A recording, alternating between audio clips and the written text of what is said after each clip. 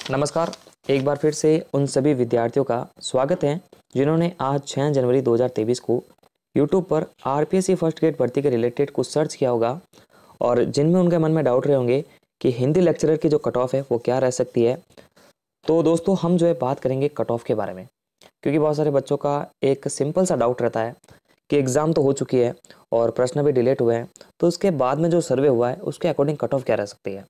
क्योंकि दोस्तों, जब प्रश्न या जो हमारे प्रश्न हैं, जब डिलीट होते हैं तो आपको पता है कि जो बचे हुए क्वेश्चन हैं, उनका अंक बार बढ़ जाएगा। जैसे अपने अपने पास में पहले डेढ़ सौ क्वेश्चन थे, नौ प्रश्न डिलीट हुए तो एक सौ इकतालीस क्वेश्चन बच रहे हैं। तो आपको पता होना चाहिए कि एक सौ इकतालीस क्वेश्चन का जो अंक बार है, वो बढ़ जाएगा। तो उसके अकॉर्डिंग दोस्तों, जो कट ऑफ़ है, वो हम आप तक शेयर कर रहे हैं, या डिस्कस कर रहे हैं। चलिए दोस्तों, बात करते हैं कट ऑफ़ के बारे में। अब देखिए दोस्तों, मैं कट ऑफ़ के लिए जानकारी शेयर कर रहा हूँ, लेकिन उससे पहले आपसे एक चीज़ डिस्कस कर रहा हूँ कि दोस्तों, यदि आप यूट्यूब के प्लेटफॉर्म पे कट ऑफ़ के लिए सर्च करते हैं या कट ऑफ़ की कोई वीडियो देखते हैं। तो ध्यान दीजिए यूट्यूब के प्लेटफॉर्म पर कट ऑफ़ की जो वीडियो बनती है, वो मात्र एस्टिमेट यानी अनुमान के बेस पर बनती है। अब यदि दोस्तों आपका विश्वास अनुमान एस्टिमेट एक्सपेक्टेड चीज़ों में नहीं है तो आप वीडियो को स्टॉप करके जा सकते हो। क्योंकि बहुत सारे बच्चे क्या होते हैं कि जब वीडियो देखते हैं तो कैसे भी करके कमेंट कर देते हैं।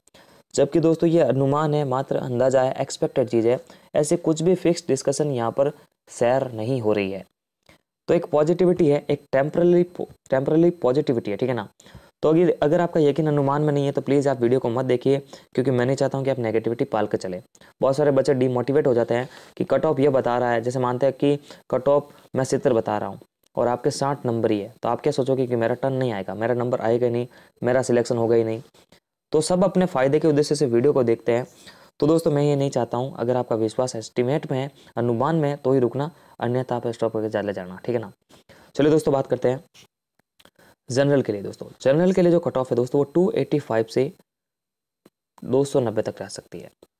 हमारे चैनल के अकॉर्डिंग अगर आपका ये आंकड़ा है तो आप बिल्कुल क्वालिफाई करेंगे। ओबीसी में दोस्तों, जो कट ऑफ़ है, वो 280 से 85 280 से दो जो कट ऑफ़ है, वो ओबीसी की रह सकती है। ठीक उसी प्रकार दोस्तों, जो अपने पास में ई e के विद्यार्थी है, आपकी कैटेगरी की कट ऑफ़ दो से 280 तक जा सकती है। और उसी प्रकार जो आपकी अगली कैटेगरी है एससी कैटेगरी, आपके लिए कट ऑफ़ दोस्तों 260 से दो सौ पैंसठ तक जा सकती है।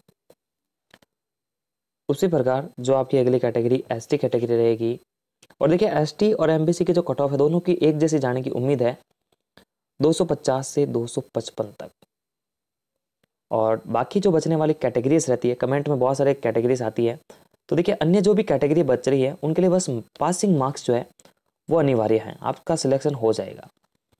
तो थैंक यू दोस्तों, और प्लीज़ मैं सपोर्ट वंदे मातरम, जय हिंद, जय भारत। Thank you